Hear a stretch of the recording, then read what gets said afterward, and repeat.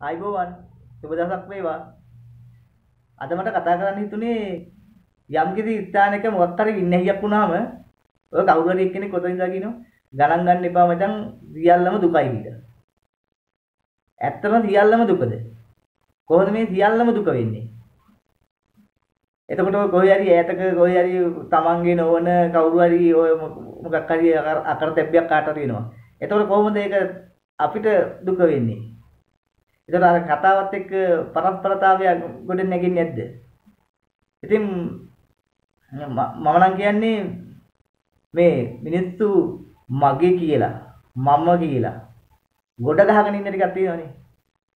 එතකොට ආන් ඒ ටික දුකයි කියලා තමයි කියන්න වෙන්නේ. මොකද තමන්ගේ කියලා අල්ලව දාගෙන තමන්ටම කියලා මේක මගේ මේක මගේ අරක මේක මේ කියලා ගොඩ ගහගත්ත අය නම් ඔන්න ඒ ඒවැ විපරිණාම වෙනකොට ඒකට ඒ කියන්නේ ඒවා වෙනසෙනකොට ආන් එතකොට නම් දුක දැනෙන්න පුළුවන්. එතකොට මේ සියල්ලම දුකයිද? සිය අල්ල දුකයිද?